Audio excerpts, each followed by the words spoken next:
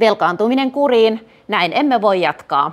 Perussuomalaisten kansanedustaja Miko Bergbom ei epäröi puolustaa salissa opposition kauhistelemaa kylmää kyytiä kansalaisille.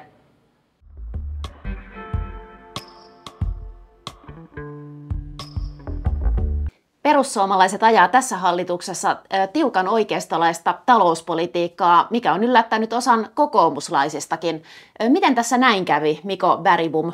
No tietysti siihen varmaan vaikuttaa se, että Riikka Purra on valtiovarainministerinä ja hän luonnollisesti on siitä tehtävästä johtua hyvin paljon esillä ja valtiovarainministerin tehtävänä on tietysti puolustaa sitä, että veronmaksajien oikeus toteutuu ja Suomen julkinen talous saadaan ennemmin tai myöhemmin tasapainoon. Eli nämä tekee tietysti varmasti vaikuttaa siihen, mutta kyllähän talous oli yksi merkittävimmistä teemoista jo viime eduskuntavaaleissa ja perussuomalaiset jo silloin vaaleen alla ilmoitti olevansa sitoutuneena siihen, että julkinen talous saatetaan tasapainoon kahdessa vaalikaudessa. Miten teidän suhtautuminen AY-liikkeeseen on muuttunut? No, en mä tiedä, onko se muuttunut. Ei meillä oikeastaan ollut mitään merkittäviä suhteita koskaan AY-liikkeeseen muuta kuin ihan normaalilla tavalla. Että tietysti käydään keskustelua ja näin poispäin, niin kuin muutkin puolueet, mutta että kyllähän tässä on ollut ihan selvästi nähtävissä valitettavasti se, että AY-liike on itse politisoinut itsensä niin voimakkaasti tiettyjen oppositiopuolueiden tavallaan kainalon alle ja pyrkinyt vastustamaan käytännössä jokaista hallituksen työmarkkina uudistusta milloin milläkin verukkeella ja sitten vastaavasti tukemaan täällä tiettyjä puolueita ja heidän tavoitteitaan, niin eihän ne suhteet tietystikään voi olla hirveän hyvät. Ja siihen päälle vielä keskeisten AY-johtohenkilöiden tämmöiset äärioikeisto-syytökset, mitä aina silloin tällöin heitellään tuolla sosiaalisessa mediassa sun muuta, niin ei ne nyt varmaan paranna tilannetta jaoit sosiaalisessa mediassa Riikka Purrasta kuvan tällaisten isojen saksien kanssa ja se sai osan ihmisistä älähtämään, että te perussuomalaiset suorastaan nautitte leikkaamisesta. Mitä vastaat tähän?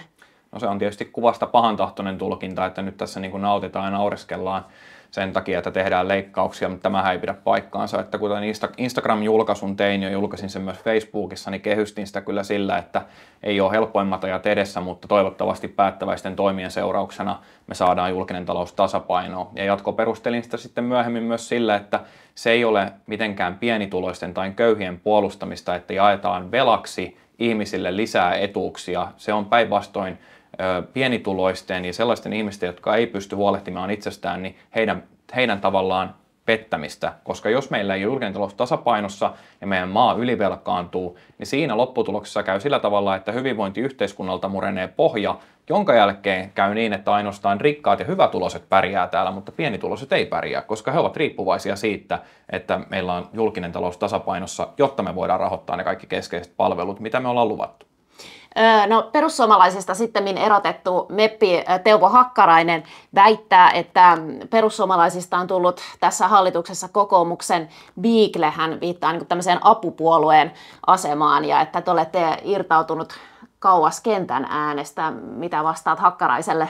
No vastaan Hakkaraiselle saman kuin vastaan kaikille muillekin huutelijoille esimerkiksi opposition puolella, että tilannehan on se, että milloin mistäkin asiasta väitetään että välillä kokoomus on perussuomalaisten apupuolueena, jos katsotaan vaikka ennallistamisasetusta EU-politiikkaa tai katsotaan vaikka näitä maahanmuuttopoliittisia uudistuksia, mitä tämä hallitus tekee, ja vastaavasti sitten taas toisinaan näissä työmarkkinauudistuksissa ja tietyissä talousreformeissa, niin syytetään, että nyt perussuomalaiset on apupuolue, että se aina vaihtuu se kohde, että kuka kulloinkin on apupuolueena, mutta ehkä se kertoo siitä, että meillä on hallitusohjelma neljän puolueen välillä, joka on kompromissi, jossa jokainen puolue on saanut jotain.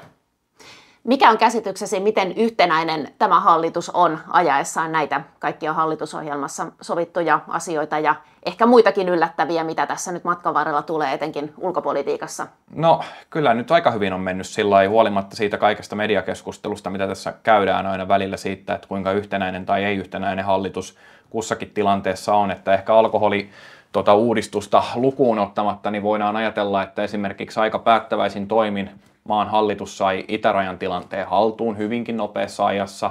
Eihän tähän ollut tavallaan siinä mielessä varauduttu hallitusohjelmassa.